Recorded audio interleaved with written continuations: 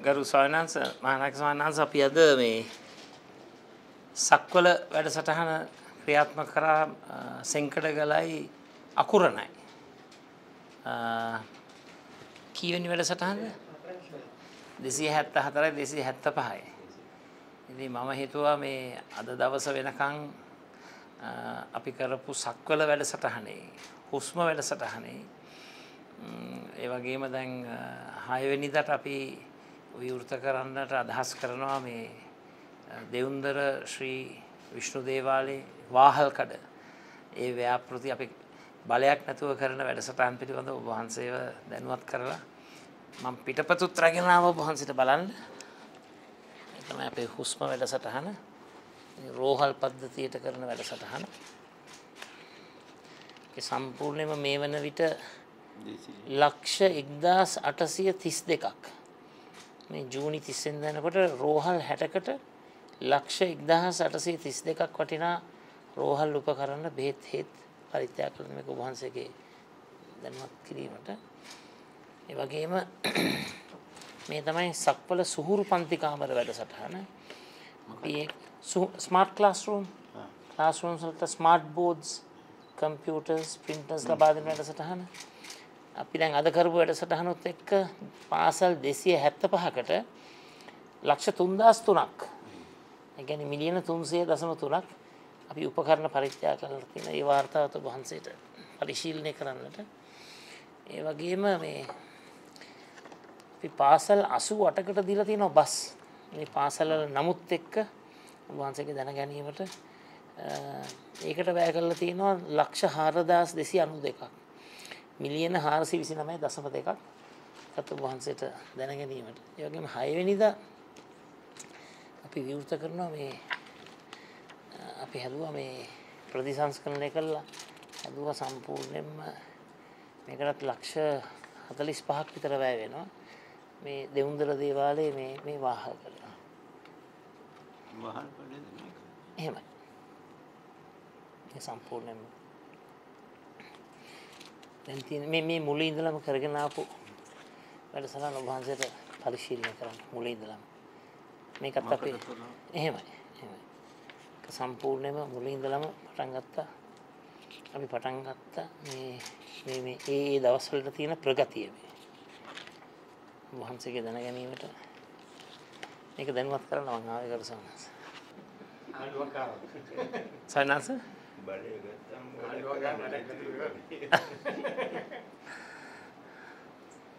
අපි කරු සානන්ස දැන් ඇත්තටම මේ අපි පොඩ්ඩක් හොයලා බැලුවොත් නිදහස ලැබුණු දවසේ ඉඳලා දැන් අවුරුදු 76ක්නේ මේ අවුරුදු 76 තුල අපේ තාත්තා ඇතුළුව රටට වැඩක් කෙරුණ ඉතින් ඇත්ත වශයෙන්ම බලයක් එක්ක බලයයි තනතුරයි එක්ක ඉතින් අපි ඇත්ත වශයෙන්ම මේ ක්‍රමයේ වෙනස ඇති කරලා මාතෘකා දෙකක් තෝරගෙන එකැන අධ්‍යාපනයයි සෞඛ්‍යයයි. ඒ දෙක තෝරගෙන අපේ අපිට පුළුවන් ආකාරයෙන් අපේ යුතුකම වගකීම රටේ ලක්ෂ දෙසී විස්සක් පලාගෙන ඉන්නවා. අපි ඒද ඉෂ්ට කරනවා. එහෙමයි ප්‍රවෘත්ති වෙලා අපේ දැන් හෙට අපි තවත් පාසල් තුනකට උදව් කරනවා. එතකොට අනිද පාර්ලිමේන්තුව පාර්ලිමේන්තුවේ වැඩ කටයුතු උදේට කරලා හවස් වරුවේ ආපහු යොදාගෙන වැඩ කටයුතු කරනවා. ඒ විදිහට පුළු පුළුවන් විදිහට අපේ උපරිම වෙලාව යොදලා වැඩ කරනවා. මං හිතුවා මහානායක ස්වාමීන් වහන්සේලාත් මේක ගැන දැනුවත් වෙන්න ඕනේ කියලා මම වාර්තාවක්ම හදාගෙන ආවා.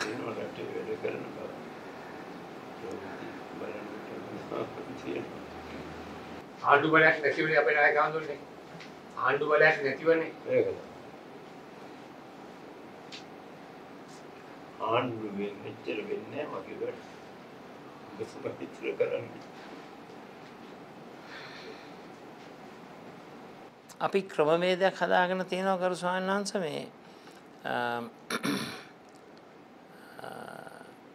ඒ විවිධ පරිත්‍යාගශීලින් දෙන අරමුදල් ඒ අපි පරිහරණය කරන්න එක කෙලින්ම අර උපකරණ සපයන ආයතනයටම ලබා දෙනවා. ඒ ඒ රිසිට් පතත් දහනපතියට එක ලැබෙනවා. අපි කරන්නේ ඒ බහන්ඩ ටික විල පරිත්‍යා කිරීම. ඒකින් අර විශේෂණෝ එක එක කූට ගණු දෙනු ඒ ඔමුණත් නෑ බොහෝම විනිවිධ භාවින් යුක්තයි. ඒක වැදගත්ම දේ තමයි වගකීමයි වගවීමයි තියෙන.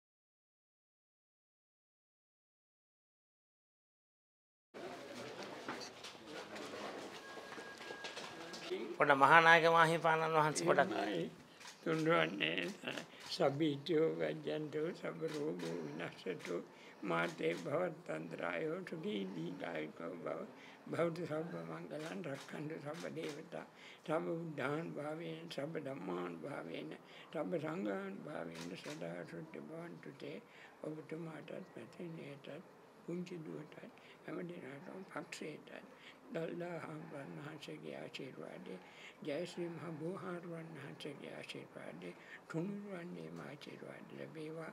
ඒ සියලු ආශිර්වාදත් සමගම සමන් විෂ්ණු කතරගම නාට පත්තින් සියලුම දෙවියන්ගේ දේව ආරක්ෂාව රැකවන්නේ ඇල්ම බැල්ම ඡායාව ලැබිලා ඉදිරියේ තමන්ගේ දේශපාලන කටයුතු සර්ව ප්‍රකාරයෙන්ම සාර්ථක වෙනවා.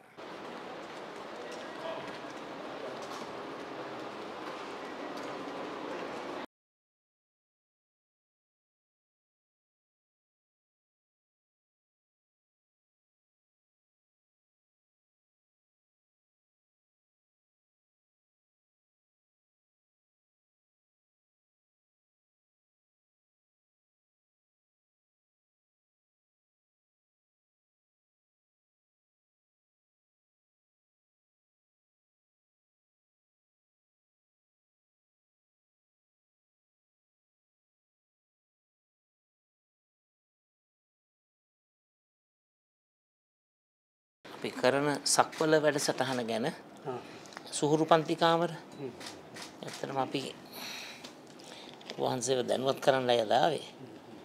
අපි දැනට අද දවසේ වෙනකොට පාසල් දෙසිය හැත්ත පහකට ස්මාර්ට් ක්ලාස් රූම් දීලා තියෙනවා. ඒක වෙනුවෙන් අපි නිදහස් අධ්‍යාපනය ආයෝජනය කරලා තියෙන ලක්ෂ තුන්දස් තුනක්. එකනි මිලියන තුන්සය දසම තුනක් වහන්සේක දැන ගැනීමට මේ අපි මේ දැනට බස්රත පරිත්‍යාය කරලා තිබෙන අද දවස වෙනකොට අසු අටක් ඒ වෙනුවෙන් මේ ඔක්කොම පාසල්ලට රජයේ පාසල්ලට උදි මේ අද දවසනට දීලා තියෙන අසු අටක් ලක්ෂ හාරදස් දෙසි අනු දෙකක් වටිනවා. ඔක්කොම නිදහස් අධ්‍යාපනයට ඒ වගේම අපි හුස්ම වැඩසටහන යටතේ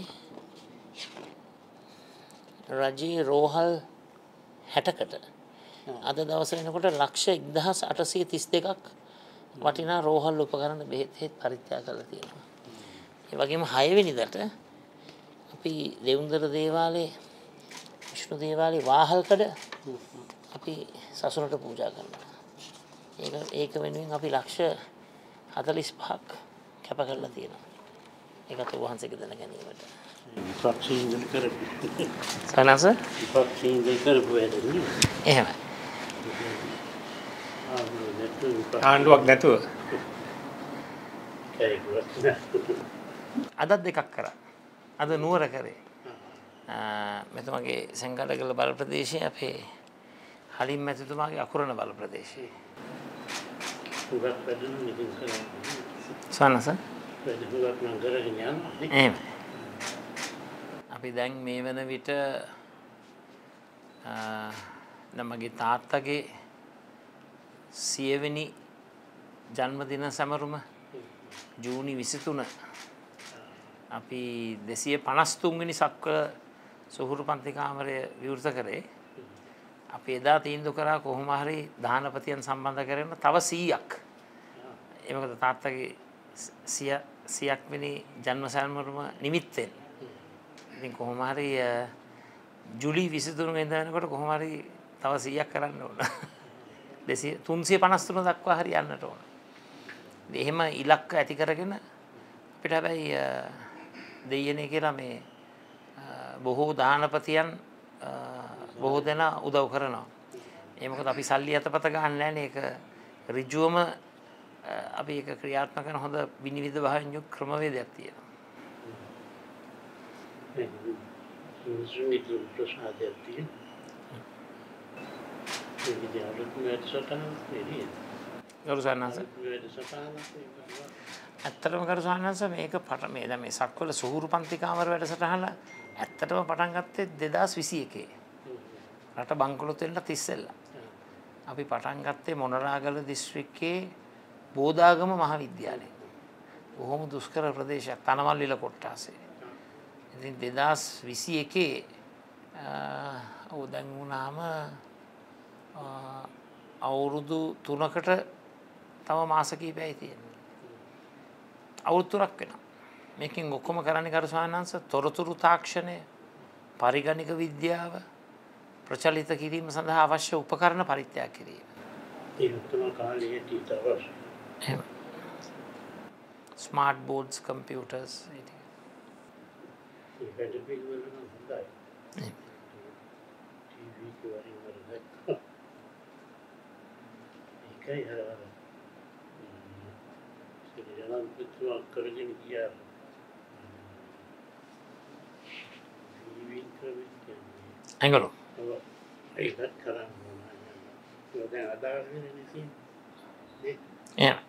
දැක්කා. ඒකයි අර අර ශ්‍රී ජනාධිපතිතුමා කරගෙන ගියා. ටීවී ක්‍රමෙත් කියන්නේ. ඇඟලු ඔව්. ඒකත් කරන්න ඕන. ඒක දැන් අදාළ වෙන්නේ නැති. නේ? එ ඒක උගත් මිනිස්සුන්ට මොකද පිළිසරණ ඒවත් වැඩි අසරණයි. ඇගලුම් කර්මාන්ත ශේෂ්ත්‍රත් අපි ශක්තිමත් කරන්න ඕන ම්, ඒ වගේ මේවත් පුළුල් කරන්න ඕන තරම් අවස්ථා තියෙනවා හැබැයි ගරු ස්වාමීන් දැන් ඒ- ඒක කරනවා වගේම අපි ආ, නිෂ්පාදන කර්මාන්තය දැන් ඉදිරියට යන්නත් ඕන එකැන ඉලෙක්ට්‍රොනික් බහන්ඩ නිපදවීම් මයිකරෝචිප්ස් ඔය වගේ ම්, තවතිනනේ සොෆ්ට් ඩෙවලප්මන්් කියලා. ඒගැන මෘදුකාංග අ, නිර්මාණය කිරීම සඳහා ඒ අවශ්‍ය මානව ප්‍රාග්ධනය නිර්මාණය කිරීම. ඉතිං අ, ඒ ඒ පැත්තරත් අපි නැඹුරුවෙන්න්නට ඕන. මොකද තොරතුරු තාක්ෂණ අපනයන ශේෂත්‍රය තමයි අපිට බොහොම ඉක්මනින්ම ඩොලර් හොයාගන්නට පුළුවන් හොඳ ක්‍රමයක්. ඉතිං අ, විශේෂෙන්ම තොරතුරු තාක්ෂණ සාක්ෂරතාවය අපේ රටේ පාසල් දරුවන්ගෙත් යව්වනින්ගෙත් ඒ වගේ වැඩිහිටි පරපුරෙත් අපි ප්‍රචලිත කරන්නට ඕන. ඒ සඳහා තමයි අපි මේ වැඩසටහන මේ පාසල් මට්ටමීම පටන් කරන් තියෙන. ඒක වඩා ප්‍රතිනවනේ පාසල් මට්ටමේ එහෙම.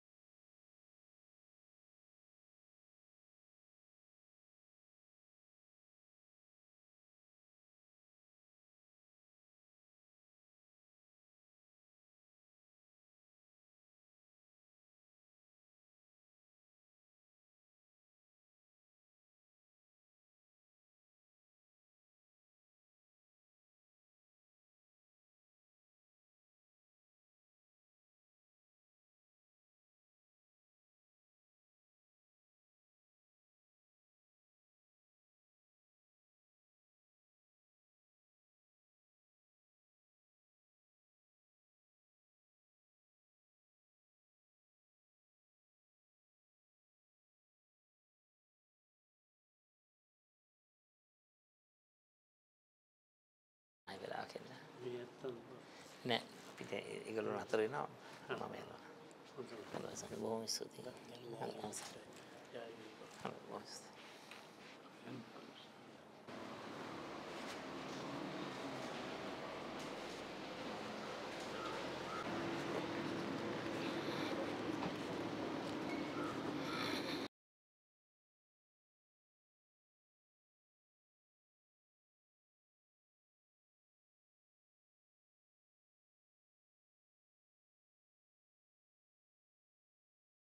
ගරු විපක්ෂ නායකතුමනි ඔබතුමා මල්ලු තස්කිරි මහානායකගේ මේරුම් බැහැදකීමේ සුවිශේෂී කරුණක් තිබුණාද සර්? ඔව් විශේෂයෙන්ම අද දවසේ අ, අපි මෙතෙක්කල් අ, කරගෙන ආපු සංවර්ධන වැඩසටහන් පිළිබඳව අ, යම්කිසි අ, සමාලෝචනයක් කරා අ, ඒ වගේම විශේෂයෙන්ම ගෞරවනීය මහානායක මාහිමිපාණන් වහන්සේලා දෙනමම අපි දැනුවත් කරා මේ කරපු වැඩසටහන් විශේෂයෙන් සක්වල වැඩසටහන අ, සුහුරු පන්තිකාමර වැඩසටහන බස් රථ වැඩසටහන රෝහල් උපකරණ පරිත්‍යා කරන වැඩසටහන. ඒ වගේම අපි දෙවුන්දර දේවාලේ වාහල්කඩ අ, ප්‍රතිසංස්කරණය කරලා අ, සසුනට පූජා කරන වැඩසටහන. විශේෂම අපි බලයක් නැතුව කරපු සේවා පිළිබඳව අපි දැනුවත් කිරීමක් කරේ අද දවසේ. ගරුතර මහානායක ස්වාමීන්ද්‍රයන් වහන්සේ සඳහන් කළා බලයක් නැතුව ඔබතුමා සුවිශේෂී කාර්යභාරයක් ඉටු කරනකොට නමුත් සමහරුන් කියනවා මේ කටයුතු කිරීම සඳහා විපක්ෂ නායකතුමාට සජිත් ප්‍රේමදාස මැතිතුමාට කොහෙන්ද මේ සල්ලි කියලා. ඇත්තටම ගරු විපක්ෂ නායකතුමනි මොකද්ද ඒකට දෙන පිළිතුර ඔබතුමාගේ? මෙච්චර සේවයක් කරද්දී ඇයි මේ වගේ යම් යම් අය යම් යම් අදහස් දක්වන්නේ? ඉතින් මම පුදුම වෙන්නේ නැහැ රටත් බංකොලොත් වුණු මොහොතක ඉතාමත්ම පුංචි ප්‍රමාණයක් සුළුතරයක් අ, ඔය වගේ බංකොලොත් අදහස් දැරීම ගැන මම පුදුම වෙන්නේ නැහැ. අ, අපි බොහොම වගකීමෙන් වගවීමෙන් විනිවිධ භාවෙන් යුක්තව අ, මේ වැඩසටහන අපි ක්‍රියාත්මක කරනවා දෙස් විදෙස් දහනපතියන්ගේ ආධාර උපකාර මත. ඉතින් නොහැකියාවෙන් පෙළෙන තමන්ගේ ක්‍රියාව කයිවාරුවට පමණක් සීමා කරපු කණ්ඩායම්වලට මේක පිළිබඳව ලොකු හිසේ කැක්කුමක් ඇති ඉතින් මට ඒකට විතර බෙහෙත් නෑ මල්ලඟ. ගරු විපක්ෂ නායකතුමනි ඉදිරි මැතිවරණයක් යන්නේ මාස කිහිපයක් ගණනාවක් තුළ ජනාධිපතිවරණය තියෙනවා කියනවා සමහරු නැහැ කියලා කියනවා. නමුත් මැතිවරණ කොමිෂන් සභාවේ අධ්‍යක්ෂ ජනරාල්තුමා මහනුවර දීම සඳහන් කළා මැතිවරණයට එතුමන්ලා ලෑස්ති කියලා. ඔබතුමාලා ලෑස්තිද මැතිවරණයට නායකතුමනි? අපි ඉතින් හැමදාම පොදු ජනතාවත් එක්ක එකට හිටපු කට්ටියනේ. ඉතින් අපිට මැතිවරණය තියෙන වෙලාවල් ප්‍රශ්නයක් නැහැ. ඕනම මැතිවරණයකට ඕනම වෙලාවක ඕනම අවස්ථාවක අපි සූදානම්. සමගි ජන බලවේගයෙන් විසිපහක් විතර එක්සත් ජාතික පක්ෂයේ වර්තමාන ජනාධිපතිතුමා ළඟට එනවා කියලා පහුගිය කාලයන් තුනම කිව්වා මේ ළඟදිත් කියනවා මේ දෙවෙනිදාත් එනවා කියලා කියනවා ගරු මැතිතුමනි ඇත්තටම සමගි ජන බලවේගයෙන් එහෙම යන සූදානමක් තියෙනවා මට කියන්න තියෙන ජනාත්තුමාට ඒ හීන බලවල ඉන්නේ කියලා දිනපතා. නමුත් ගරු මැතිතුමනි සරත් පොන්සේකා මැතිතුමා රාජිත සේනාරත්න මැතිතුමා ආණ්ඩුවේ ගුණ වර්ණනා කරමින් කතා කරනවා. ඒකතොර ඒගොල්ලෝ යාමට අදහස් කරොත් ඔබතුමා නක්තා ගැනීමේ සූදානමක් නැහැ. ඇත්ත වශයෙන්ම අපිට වැදගත් වෙන්නේ ලක්ෂ 220 නේද? රටේ ජනතාව.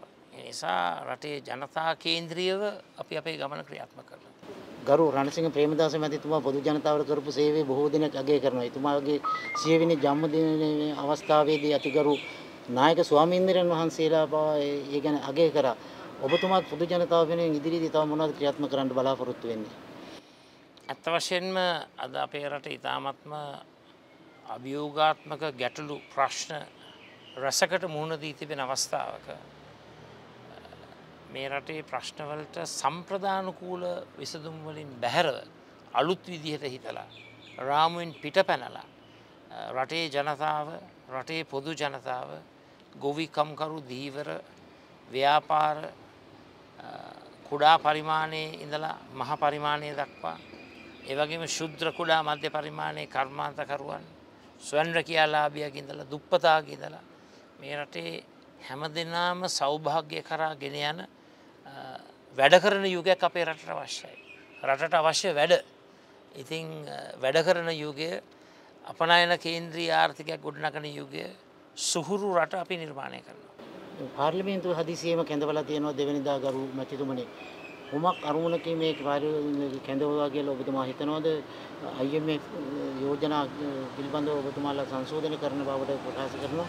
ඔබතුමාලා රජයක් යටතේ එහෙම සංශෝධනය වීමක් වෙයිද? ගෙන්නලා තියෙන රටම අන්දවන්න. පාර්ලිමේන්තුව කැඳවීම. එතකොට රටම රවට්ටන්න බොරුව මුසාව මුලාව රජ කරවන්න. අපි අවස්ථා ගණනාවකදී කියලා තියෙනවා. අපි IMF එක්ක එක්ක එකට වැඩ කරනවා එක කිසි ගැටලුවක් නැහැ. හැබැයි අපි ක්‍රියාත්ම කරන ගිවිසුම් ජනතා කේන්ද්‍රිය ප්‍රජාවට අහිතක් නොවන ප්‍රජාවගේ සුභසිද්ධිය උදෙසා ක්‍රියාත්මක වෙන බොහොම මානුෂීයවාදී ප්‍රගතිශීලී පිසතුම්. මහ ජනතාවට දෙන පණිවිඩය කුමක්ද ගරුමැතිතුමනි අවසාන වශයෙන් ජයනීයතයි. බොහොම ස්තුතියි